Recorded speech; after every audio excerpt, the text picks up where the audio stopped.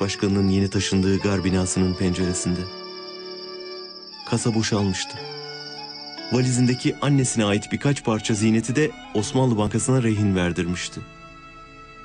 Gün geldi, muma da para yetmedi. Hepten karanlıkta yatmak gerekti. Büyük bir cenge hazırlanan komutan, çocuksu bir zaafını o zaman emir çavuşu Ali'ye açıkladı. Ben karanlıkta yatamam çocuk dedi. Bir çare bul. Ali Çavuş paşanın başucuna bir gaz lambası yerleştirdi. Sabah hem odayı hem paşayı simsiyah is içinde buldu.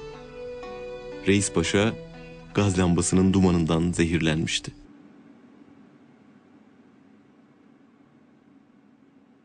Paul Williams, Anadolu'daki milyonlarca Müslümanı örgütlemekte olan Türk Milli Güçlerinin lideri Mustafa Kemal'in gizli karargahını tespit etti ve Müslüman dünyasının militan lideriyle ilk röportajı yaptı. Avrupa'ya direnmeye kararlı bu kısa boylu sağlam yapılı adam, insanı delip geçen mavi gözlerini karargahındaki haritaya dikerek doğduğu Selanik'ten savunmasını yönettiği Ankara'ya kadar bir çizgi çekti ve Kafkaslardaki Bolşevik ilerleyişine işaret ederek Türklerin Bolşeviklere açık hale geldiğini söyledi. Bu Batı dünyasına bir mesajdı. Şimdi de Sovyet kartını oynuyor ve beni sıkıştırırsanız Lenin'le birlik olurum demek istiyordu. Nitekim bu demeci verdiği gün Lenin'e bir mektup yazıp işgalci emperyalist güçleri saf dışı edebilmek için ilk taksit olarak 5 milyon altın, cephane ve harp vasıtaları istedi. Kısa zamanda Bolşeviklerden 3 sandık içinde 500 kilo altın geldi. Ardından ilk silahlar da Karadeniz'e ulaştı.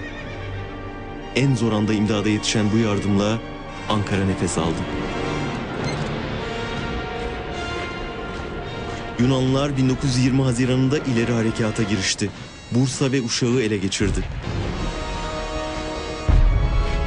1921 Ocağı'nda 1. İnönü, Nisan'ında 2. İnönü, Aslıhanlar ve Dumlupınar savaşlarında meclisin kurmaya çalıştığı düzenli ordu ilk kez Yunan kuvvetlerinin karşısına çıktı. Ancak Temmuz'daki yeni saldırıda bu kez de Eskişehir ve Afyon düştü.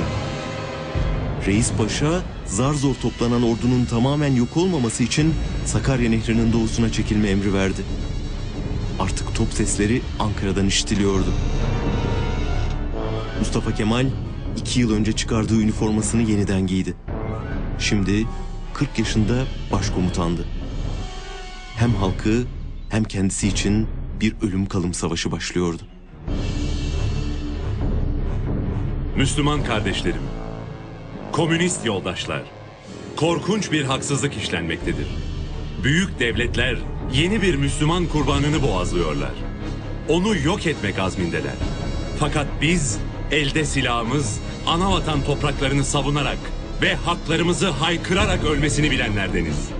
Köylülerimiz topraklarını, yurtlarını, köylerini istilacıya karşı müdafaa ederken, şehit düşerken emin olabilirler ki yakın bir gelecekte bütün İslamiyet komünizmle birlik olarak onların intikamını alacaktır.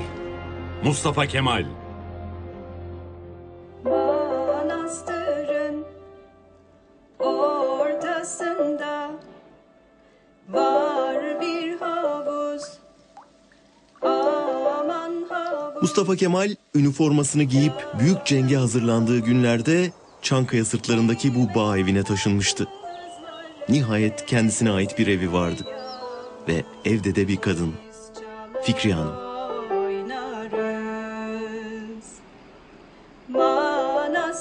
Üvey amcasının kızı Fikriye İstanbul'da Zübeyde Hanım'la yaşarken Anadolu'ya kaçıp Ankara'ya ulaşmış. Bir süre Mustafa Kemal'le istasyon binasında kaldıktan sonra onu Çankaya'ya taşımış, evi dayayıp döşemişti. Her akşam paşayı pencerede bekler, gelince de köşkteki piyanoda ona gençliğinin Rumelisinden, manastırından şarkılar söylerdi.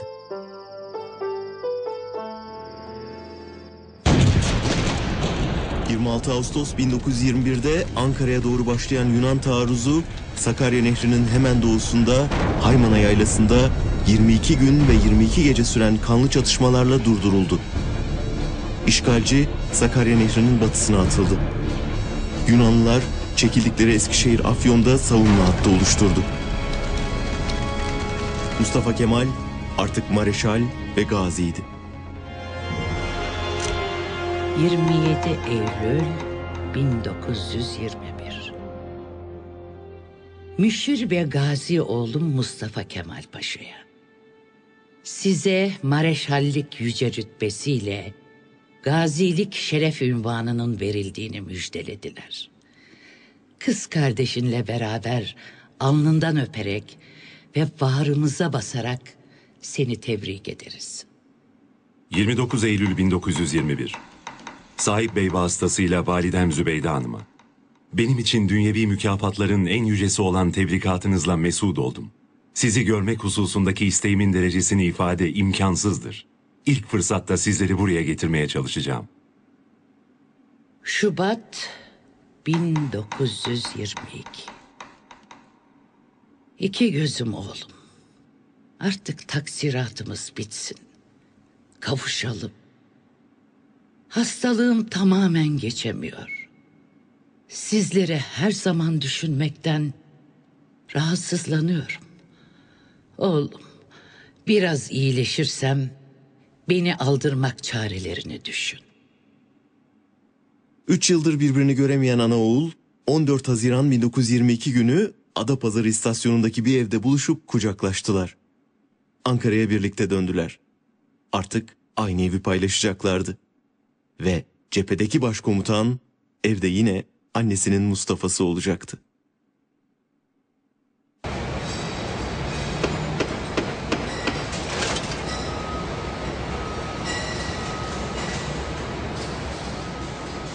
Ordunun komuta kademesi 27 Temmuz gecesi Akşehir karargahında toplandı. Asker 9 aydır hazırlanıyordu. Başkomutan akademideyken not defterine cesaret gösteren ve tehlikeye atılan kazanır. Korkak kalp daima mağluptur diye yazmıştı. Şimdi bunu kanıtlama zamanıydı. Askeri liseden beri öğrendiği, Picardy'de, Sofya'da gördüğü, kitaplarda okuduğu tüm askeri bilgisini şimdi yurdunu kurtarmak için kullanacaktı.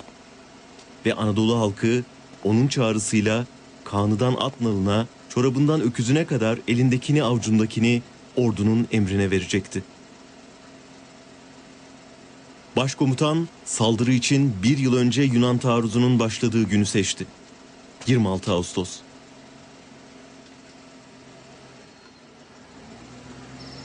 ...20 Ağustos 1922 tarihli Hakimiyeti Milliye Gazetesi... ...Reis Paşa'nın 21 Ağustos'ta köşkte bir ziyafet vereceğini duyurdu. Bu bir şaşırtma haberdi. Gazete çıktığında Mustafa Kemal cepheye gitmişti bile. Yola çıkmadan son bir içki sofrası kurdurmuş ve ayrılırken arkadaşlarına taarruzdan 15 gün sonra İzmir'deyiz demişti. Yunanlıların en güçlü olduğu nokta Afyon'du. Şimdi hayat boyu uyguladığı bir ilkeyi devreye sokacak ve düşmana en güçlü olduğu yerde saldıracaktı. Oğlum, seni bekledim. Dönmedin. Çay ziyafetine gideceğini söyledin. Ama ben biliyorum. Sen cepheye gittin. Sana dua ettiğimi bilesin. Savaşı kazanmadan dönme. Anne.